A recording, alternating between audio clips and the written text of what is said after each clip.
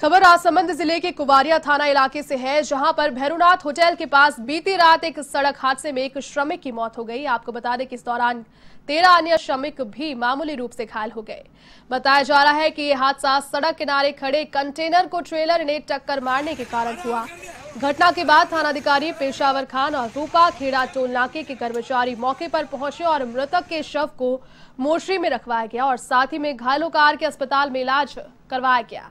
Police ने इस पर बताया कि सभी पंद्रह मजदूर कोरोना के बाद से बदले हालात के चलते डूंगरपुर से पश्चिम बंगाल ट्रेलर में बैठकर जयपुर की ओर आ रहे थे।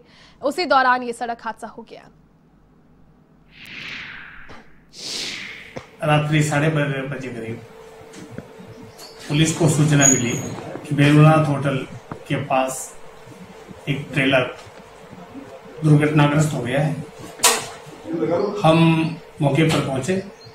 तो ट्रेलर में करीब 16 मजदूर सवार थे।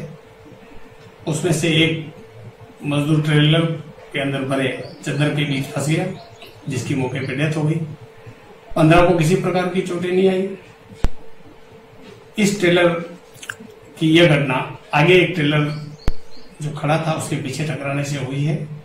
घटना में इसके अलावा कोई ज़्यादा हताहत नहीं हुआ है। प्रवासी कहाँ के थे सर कहाँ जा रहे थे? ये सभी प्रवासी पश्चिम बंगाल के थे डूंगरपुर से आए खेरवाड़ा से ट्रेलर में सवार हुए।